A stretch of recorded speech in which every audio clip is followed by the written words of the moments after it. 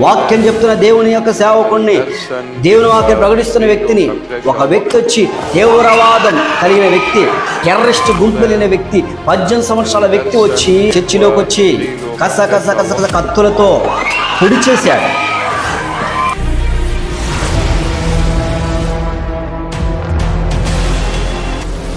క్రీస్తు శ్రేష్ఠనామం పేరిట Bible power minister తరపున మీ అందరికీ నా హృదయపూర్వక వందనాలు.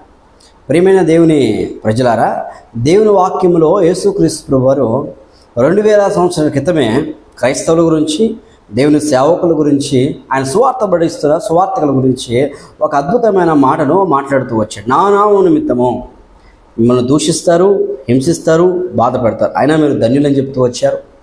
మరొక మాటలు మాట్లాడుతూ వచ్చారు.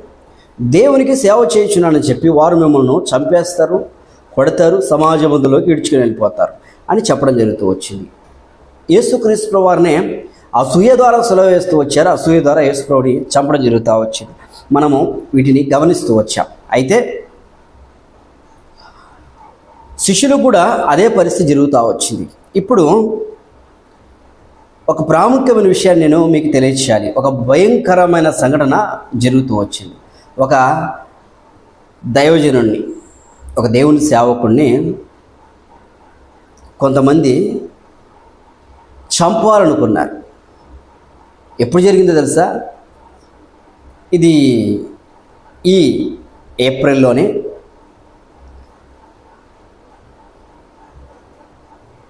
పన్నెండో తారీఖు జరిగిన ఈ ఏప్రిల్లో పద్నాలుగో తారీఖు జరిగిన సంఘటన. ఈ ఏప్రిల్లో పద్నాలుగో తారీఖున చర్చిలో వాక్యం ప్రకటిస్తూ ఉన్నాడు దేవుని యొక్క సేవకుడు. ఆయన పేరు ఇమ్మానియే ఇమ్మానులైన వ్యక్తి. దేవుని వాక్యం ప్రకటిస్తావు అన్నాడు ఇలా ప్రకటిస్తూ ప్రకటిస్తూ ఉండగా ఒక భయంకరమైన సిచ్యువేషన్ అక్కడ జరిగింది. ఏంటంటే మేలో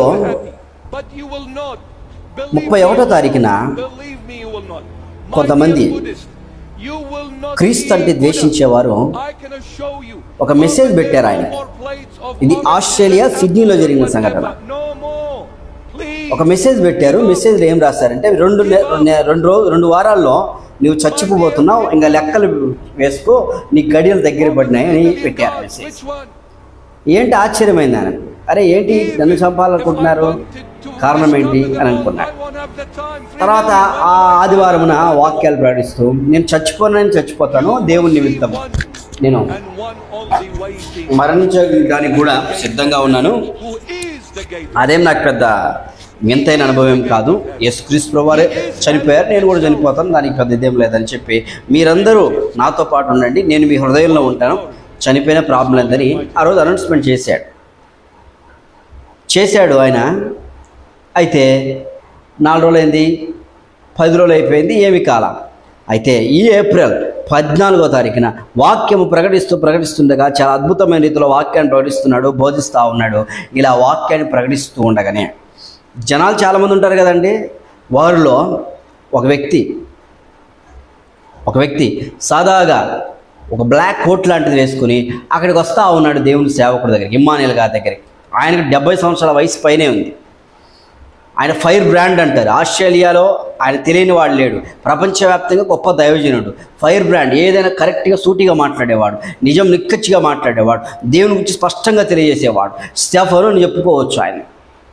అలాంటి స్టెఫన్ లాంటి ఇమ్మానుయల్ గారు ఫైర్ బ్రాండ్ లాంటి దైవజనుడు వాక్యాన్ని బోధిస్తూ ఖండిస్తూ గద్దిస్తూ విశ్వాసులకు బయట ఉన్న వారికి అనేక రకాలుగా తెలియజేస్తున్నాడు. ఆయన అనే అన్ని మత గ్రంథాల్లో ఉన్న సంఘటనలు తెలియజేస్తూ నిజమైన దేవుడు ఎవరో తెలుసుకోండి అని అనేక విషయాలు మాట్లాడుతూ వచ్చేవాడు. ఇలా ప్రకటిస్తూ ప్రకటిస్తుండగా ఒక వ్యక్తి సడన్గా వచ్చాడు వచ్చి ఆయన దగ్గర నిలబడ్డాడు. ఏంటో అనుకున్నాడు మైక్ సరి చేయడానికి వచ్చాడేమో లేకపోతే ఏదైనా వాటర్ అందించడానికి వచ్చాడేమో అని అనుకున్నాడు. కానీ చివరికి అతని చేతిలో ఉన్న చిన్న కత్తి కత్తితో ఇక్కడ పొడి చేస్తూ వచ్చాడు. భుజం దగ్గర పళ్ళు గుద్ది చేశాడు. దాదాగా పది కత్తిగాట్లు పడిపోయినాయి. కూల కూలిపోయాడు. ఆ పక్కన అసిస్టెంట్ పాస్టర్ గారు ఒక అతను వచ్చాడు. లేపుదామనేసరికి అతన్ని కూడా కొట్టేశారు. నలుగురు స్త్రీలను కొట్టేశాడు. పారిపోతూ పారిపోతూ ఏమంటున్నాడు తెలుసా? అల్లా అద్భర్ అల్లా అద్భర్ అంటూ ఉన్నాడు. అతను పారిపోతున్న వ్యక్తిని పట్టుకొని బంధించేశారు అతను చెప్పిన మాట నేను దేవుడి కోసం చేశాను మా దేవుడి కోసము.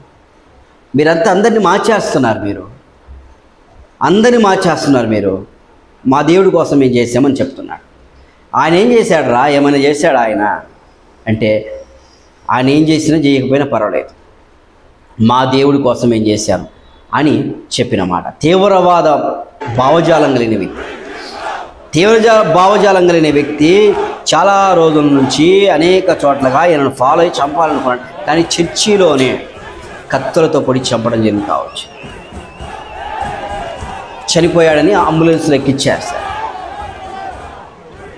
ఇంక చనిపోయి అయిపోయింది. No more. అయిపోయిందని చెప్పి అంబులెన్స్లో ఎక్కిస్తూ ఉన్నారు ఎక్కిచ్చేశారు. కానీ దేవుని మహోన్నతమైన కృప ద్వారా మరలా ఆయన బ్రతుకుతూ వచ్చాడు. దేవునికి స్తోత్రం. మరలా బ్రతుకుతూ వచ్చాడు ఆయన. దేవుడు ఆయన్ను మృత్యుంజయుడిగా నిలబెడుతూ వచ్చాడు.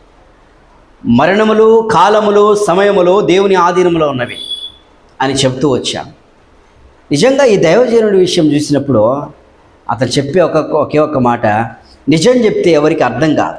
నిజం చెప్తే కోపాలు వస్తాయి. అందుకని నేను ఎంత తగ్గించుకోవాలని చూసినా కూడా దేవుని ఆత్మ నాలో పనిచేస్తూ నిజాన్ని తెలియజేస్తున్నాను. అనేక సంఘటనలు ఆయన వివరిస్తూ ఉంటాడు. సిడ్నీ ప్రాంతంలో మెథడిస్ట్ చర్చి దగ్గర జరిగిన సంఘటన. మెథడి మెథడిస్ట్ చర్చి లోపల Good Shepherd sorry Good Shepherd church దగ్గర జరిగిన సంఘటన. ఎందుకు ఇలా జరుగుతుంది అంటే సైతాన ఆత్మ ప్రజల మీద పనిచేస్తుంది. యేసు ప్రభుని కూడా ఎక్కడ వేశారు? సిలవ? ఎరుషలేములోనే. ఎరుషలేములో దేవుని మందిరంలోనే వేశారు. ఈయన తప్పుడు ఇప్పుడు ఆ వ్యక్తి ఎంత వయసు తెలుసా ఆ బిడ్డకి? పద్దెనిమిది సంవత్సరాల వయసు. మైనర్ నిండిందో లేదు తెలియదు. వయసు నిండిందో లేదు పద్దెనిమిది సంవత్సరాల వయసులో ఎంతగా లోతుగా ఆ బిడ్డకు నానిపోయిందో చూడండి. ఎంత లోతుగా నానిపోయింది. ఈ దినాల్లో ఇలాంటి పరిస్థితి గుండా వెళ్ళే సిచ్యువేషన్ కలుగుతూ ఉంది. యవనస్తులను తీసుకొని తీవ్రవాద భావజాలను నింపి ఫ్యాక్షనెట్గా నింపుతూ ఉన్నారు. దేవుడంటే లెక్కలేని భయంతో బ్రతుకుతూ ఉన్నారు.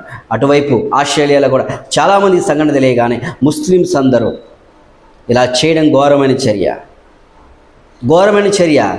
మేము ఇలా చేయము. ఇన్ని సంవత్సరాల నుంచి ఇక్కడ ఆస్ట్రేలియా మేము బ్రతుకుతున్నాం. ఇక్కడ ఉన్నాం మేము. కానీ ఎప్పుడు ఇలా జరగలేదని వాళ్ళు బాధపడుతూ చెప్తూ ఉన్నారు. ఇదే సిచ్యువేషన్ ప్రపంచవ్యాప్తంగా భారతదేశంలో కూడా జరుగుతుంది.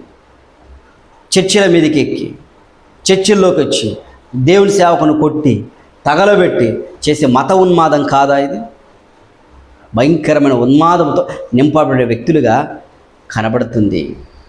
చిన్న చిన్న పిల్లలకు నూరి నూరిపోసి వీళ్ళు ఇలా తప్పు చేస్తున్నారని వాళ్ళకు లేనిపోని విషయాన్ని ఎక్కించి వారిని నాగుపాము త్రాసుపాము కంటే హీనంగా చూస్తున్నారు. చివరికి ఏమవుతుంది ఆ వ్యక్తి నశించిపోయేది. ప్రేమైన దేవుని ప్రజలారా చాలా జాగ్రత్తగా ఉండవలసిన సిచ్యువేషన్ మనము.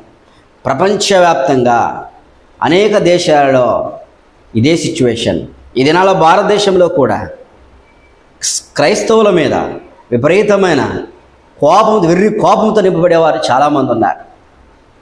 అందుకే బుక్స్ రాస్తారు వ్యతిరేకమైన మాటలు మాట్లాడుతూ ఉంటారు వ్యతిరేకమైన కొట్లాట్లు జరిగిస్తూ ఉంటారు ఏదో రకంగా ఏదో చేయాలనుకుంటూ ఉంటారు.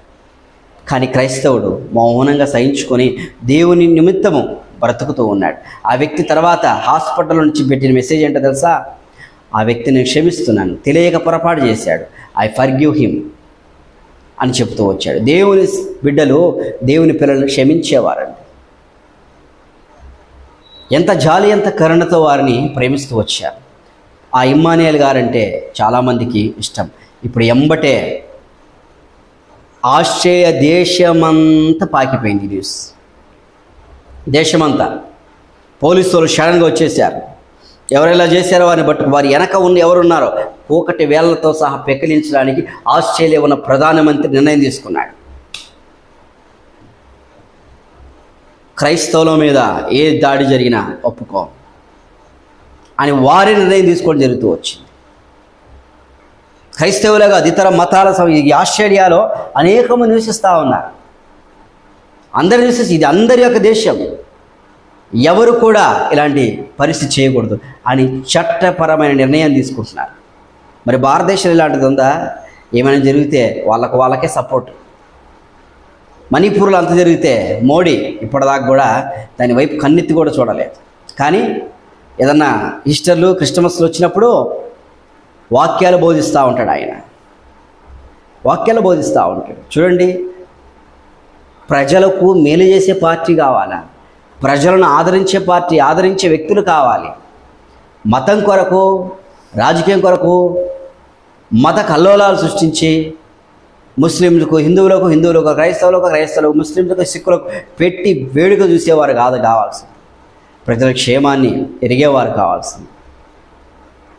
ఆ దేవుని దాసుల గురించి కూడా ప్రార్థన చేయండి. కొంచెం కోలుకుంటూ ఉన్నాడు. ఇంకా మరలా ఇంకా విస్తారంగా దేవుని పరిచర్య రాబోయే దినాలు జరిగినట్లు మనము ప్రార్థన చేద్దాం. దేవుడు సహాయం చేయనట్లు మనము దేవుని కృపకు మనము అప్పగించుకుందాం. కాబట్టి చాలా జాగ్రత్తగా ఉండాల్సిన పరిస్థితులు ఏవి? దేవుని సేవకులుగా మనం విశ్వాసులు కానీ ఎవరైనా కానీ ఎందుకంటే మనుషులలో సాతానుడు దూరి చేసే పనులు కయ్యూని ఆత్మ మనుషుల మీద ప్రవేశించింది. యజవేల ఆత్మ మనుషుల మీద ప్రవేశించింది. ఈ రెండు ఆత్మలు కాదు దేవుని ఆత్మతో నింపబడే వ్యక్తులు యవనస్తులు పెద్దవారు లేపబడాలి అలాంటి కృపతో ఉండాలని మనం కోరుకుందాం ప్రార్థన చేద్దాం. అటు విషయాలు నేను తెలియచేయడానికి మెయిన్ రీజన్ దేవుని సేవకుని చర్చిలోకి వచ్చే. దేవుని సేవకుని చర్చిలోకి వచ్చి కస కస కస కస కత్తులతో పొడి చేశాడు. వాక్యం చెప్తున్న దేవుని యొక్క సేవకుణ్ణి దేవుని వాక్యం ప్రకటిస్తున్న వ్యక్తిని ఒక వ్యక్తి వచ్చి తీవ్రవాదం కలిగిన వ్యక్తి టెర్రరిస్ట్ గుంపు కలిగిన వ్యక్తి పద్దెనిమిది సంవత్సరాల వ్యక్తి వచ్చి పొడి చేశాడు. ఏమి సమాజం? ఎక్కడేం జరుగుతుందో అర్థం కాని స్థితి. కాబట్టి ఆలోచించుకొని వీటి గురించి ప్రార్థన చేద్దాం. దేవుడు సహాయం చేయనట్లు. ఇలాంటి చెడ్డ ఆలోచన కలిగిన వారు మనిషిని సంపాలన ఆలోచన కలిగిన వారు మనిషిని మనిషి కొట్టాలని ఆలోచించిన వారు నువ్వు మోక్షం పరలోకం వెళ్ళలేవు జన్నత్తు వెళ్ళలేవు. ఇదిగా దేవుడు నేర్పించింది మనిషిని మనిషి ఒకరినొకరు ప్రేమించుకోవడం. ఎంతోమంది ముస్లింలో ఎన్నో లక్షల మంది మంచోళ్ళు ఉన్నారు. చీడ పిరుగులు లాంటి కొంతమంది వలన ముస్లిం మెజారిటీగా చెడ్డొస్తుంది. హైందవుల్లో ఎంతోమంది మంచోళ్ళు ఉన్నారు. కానీ కొంతమంది చీడ పురుగులు లాంటి వ్యక్తుల వలన పాము లాంటి విషం కలిగిన వ్యక్తుల వలన అందరి చెడ్డ చెడ్డ పేరు వస్తుంది.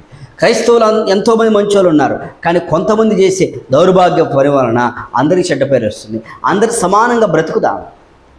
ఎవరినో హింసించుకోవడం కాదు. సత్యాన్ని తెలుసుకుందాం. నిజమేంటి అసలు? మీ మత గ్రంథాలు ఏముందండి? మా మత గ్రంథాలు ఏముంది? తెలుసుకుందాం. విభేదాలు పెట్టుకోవడానికి కాదు. అందరం వెళ్ళాల్సింది ఎక్కడికి? పరలోకానికి పైలోకానికే కదా? మోక్షమా? జన్నత్తా? పరలోకమా? వెళ్ళాల్సింది అందరం ఒకే ఒక చోటికే కదా? మరి ఒక చాటికి వెళ్ళాల్సినప్పుడు ఇంత ఎందుకు దారుణమైన సిచ్యువేషను ఆలోచించుకుందాం ప్రాణం చేసుకుందాం. పరిశుద్ధ మీరు ఇచ్చిన గొప్ప రక్షణ స్తోత్రం బ్రతిమలాడుతున్నాను సహాయం చేయండి కృప చూపించండి బలపరచండి. ఆ వ్యక్తికి ఆదరణ దయచేయండి ఆ వ్యవస్థను కూడా రక్షించమని సౌలు వలె ఉన్న వ్యక్తిని పౌరుగా మార్చమని వేడుకుంటూ ఏసుక్రీస్తున్నాం ప్రాణం చేయకున్నాను తండ్రి. ఆమె